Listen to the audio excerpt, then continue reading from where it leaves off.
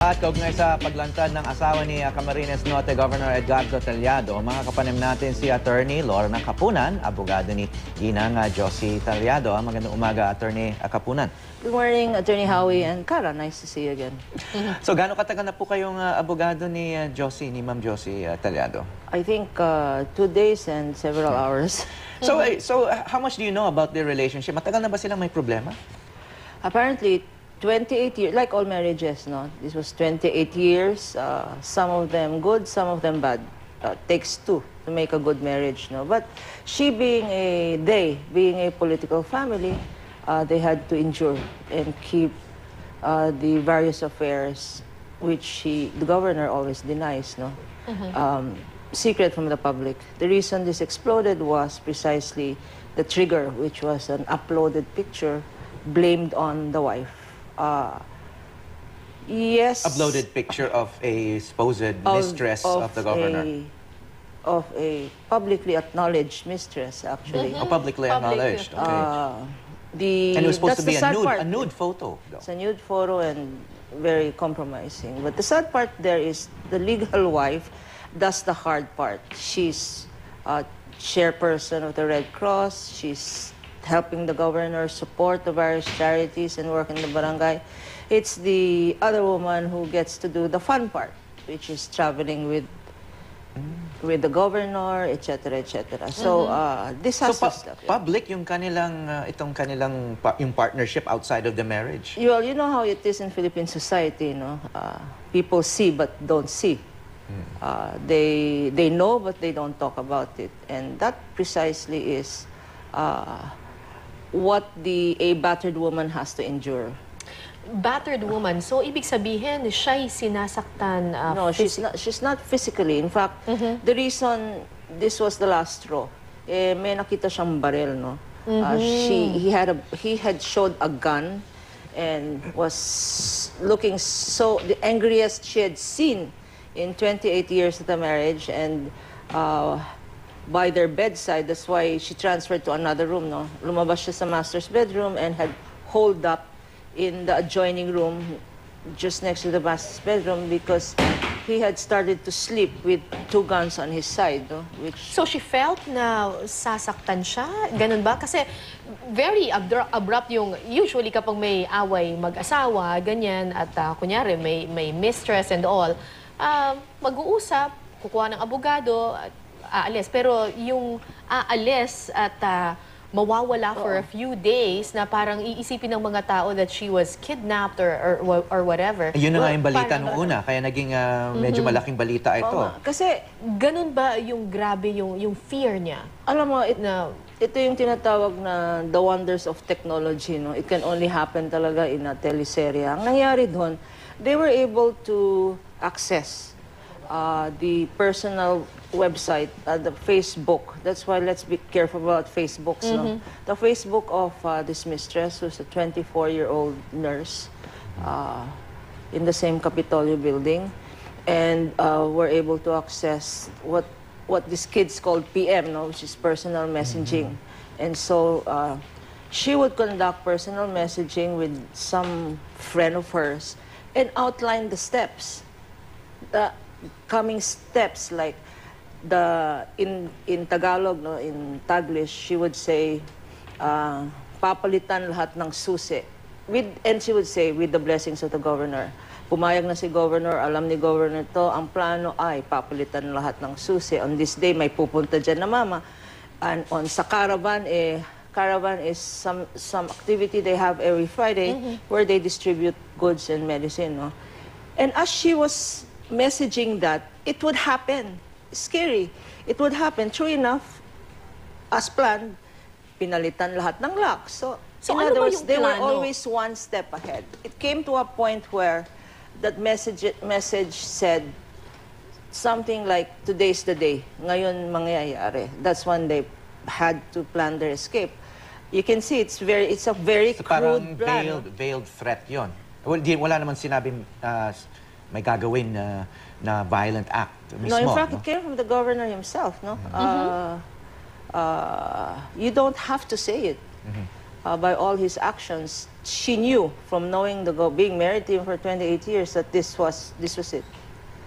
That this was it. And then his violent action of uh, using his gun to pound on the laptop and his he's cutting all the wires of the internet. This was not a normal reaction from the husband, and so she felt na it was a time. So ang kinatatakutan ni Josie Talyado ay sasaktan siya physically kasi kahapon sa interview ko sa kanya may isa pa siyang sinabi eh na ang kinatatakutan daw niya kasi mismo si governor daw ang nagsabi sa kanya na sinira mo ang reputasyon Yes. nung babae, sisirain din kita. That's what he said, no? Because uh, kanya nga nag-trigger off yun, no? Because uh, hindi lang yung mas mas mas apektado pa si governor sa reputasyon ng babae kaysa sa reputasyon ng pamilya.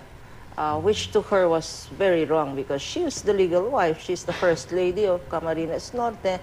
And here was the governor more concerned about the reputation of the mistress. Sabi niya, mali na ito. Hindi na ako mahal. Aalis na ako sa marriage na to. Okay, uh, I'm sure hindi hindi ito yung unang kasong ganito yung na-handle nyo. So ano ba yung mga options sa isang babae na sinasabi nyo nga na emotionally battered, she fears, fears for her life, nag-decision na siya na umalis na sa marriage na to. Wala naman tayong divorce dito sa ating bansa. Oh nga, well, first first of all, maybe it's a good time to talk about divorce, no? I mean, the legislators who may be following this story uh, should get real because tayo lang ang- ang bansa sa buong mundo. I mean, the last holdout was Malta that had only several hundred Catholics. But the last holdout is the Philippines. Uh, let's get real. Maybe the solution to a failed marriage up after exhausting uh, trying to save the marriage is a divorce. And it should be a no-fault divorce. Right now, our annulment laws, sabi nila there is a Article 36, yung Declaration of Nullity of Marriage. But I always say when I'm interviewed, if it talks like a duck, walks like a duck, stinks like a duck, let's call it a duck. So it is a divorce called annulment of marriage, annulment declaration of nullity of marriage. What it does, it, it requires that a molehill becomes a mountain. It has to be so grievous that the lawyers and the parties make a small issue big because otherwise the courts will not grant it. It has to be grievous. Why? It can be a no-fault marriage. I saw, incidentally, I saw the uh, interview of the lawyer of the governor, and I perfectly agree with attorney that this is really a domestic situation. Sadly, uh, the governor himself made it public, and that's why we had to respond public. But marriages should be kept between husband and and wife, no? And uh, and uh, it is sad. It is sad when when the infidelity of one party has to be broadcasted, especially if there are sexual innuendos. No, again, the reason of viral ito was there was mention of a sex video, and it went crazy because the public wants to see these sex videos. I understand, ma'am, ah, kayo po ay mag, yung si Mrs. Talyado is going to file um, a, a- a complaint against her husband na domestic violence. Tama po ba? Yes, uh, nag-file na kami ng ano ng barangay protection order which is uh, an immediate remedy kasi doon hindi kailangan ng uh, mag-appear. Ang barangay protection sa mga nakikinig uh, hindi ka pag binugbog ka hindi kailangan ikaw personally mag-appear. Pwedeng informant, pwedeng kapitbahay, pwedeng maid mo na pupunta sa barangay at sasabihin yung orally, yung facts at mag-i-issue immediately ng barangay protection order. In fact, walang walang ano yun, complaint yun. May form lang yun na pipirmahan lang. Pero anong klaseng protection po yun? Uh, It's a it's a 15-day protection that you that you get. It's very temporary. Uh, but it is only as good as the paper it's written on. No? protection by who? Mga barangay tanod or the police mismo ang uh, Uh, kailangan it requires, uh, ang, when it's a protection order, it orders uh, the defendant or the the other party, no? And the other party here is always male. Kasi ang protection order para sa babae lang yan, at saka sa anak. It protects women and children who in law are the more uh, are the parties requiring protection. Hindi ka pwedeng uh, handpick, binugbog na ang asawa ah, na lalaki at kukuha ka ng protection order. Hindi, ang tawag doon gago kung nagpapabugbog ka, di ba? So, But uh, anyway. So, so, so moving on, uh, what's next for Mrs. What's to after this court. bar- barangay protection order? No, what is next is uh, our wish here is that uh, whoever is listening, the lawyer or maybe the governor himself or Secretary Marojas, uh, takes this, takes the cudgels for keeping this private. Uh, if he can, if he can provide a safe haven for them to talk outside media, then we would welcome it. It is not a case that we want to go on for years because there is a child involved. He's 27 years old. He feels alienated from the nanay, no? So, uh, What you mentioned, uh, Secretary Marojas, ano bang involvement ng uh, gobyerno rito at ng uh, kalihim ng, uh, ng cabinet? Apparently, based on the dyaryo, nagtawag, nag-create si Secretary Mar as a local government and as head of PNP, a national man-wide, woman-wide hunt uh, for uh, For your client? for our client who, based on the information provided by the governor, eh, isang kidnapping victim. Na, Okay. So, naging uh, nationwide hunt dyan.